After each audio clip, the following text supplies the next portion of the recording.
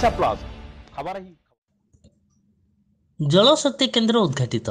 ଢେଙ୍କାନାଳ ଜିଲ୍ଲାରେ ଥିବା ବିଭିନ୍ନ ଜଳାଶୟଗୁଡ଼ିକର ଉନ୍ନତୀକରଣ ପୁନରୁଦ୍ଧାର ଓ ନୂତନ ଜଳାଶୟ ଚିହ୍ନଟ ନିମନ୍ତେ ଆଜି କ୍ଷୁଦ୍ର ଜଳସେଚନ କାର୍ଯ୍ୟାଳୟ ପରିସର ମଧ୍ୟରେ ଜନସାଧାରଣଙ୍କ ପାଇଁ ଏକ ଜଳଶକ୍ତି କେନ୍ଦ୍ର ଉଦ୍ଘାଟିତ ହୋଇଯାଇଛି।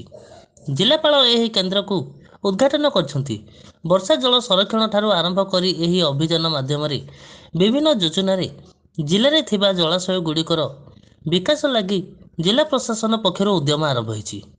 ଏହି ଜଳ ସଂରକ୍ଷଣ ଅଭିଯାନ ଜିଲ୍ଲାରେ ଥିବା ଚେକ୍ ଡ୍ୟାମ କେନାଲ ପୋଖରୀ stretch soak pit recharge structure ବ୍ୟକ୍ତିଗତ ଫାର୍ମ ପଣ୍ଡା ଆଦିର ଉନ୍ନତି ବିଧାନ ସହିତ ଜଳ ସଂରକ୍ଷଣ ବ୍ୟବସ୍ଥା କରାଯିବ।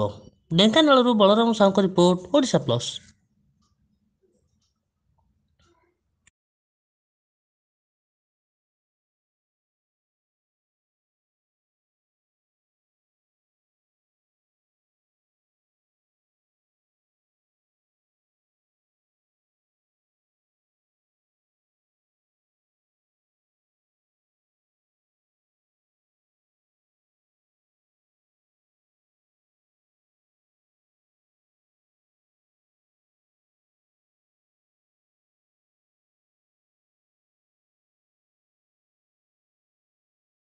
Trustol lubricants and grease भरोसे पर रखो विश्वास। ट्रस्टल देगा आपका साथ। ट्रस्टल का लुब्रिकेंट और ग्रीस वर्जिन है ये।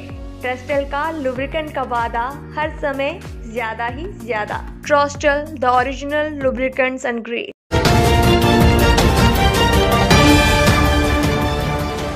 Odisha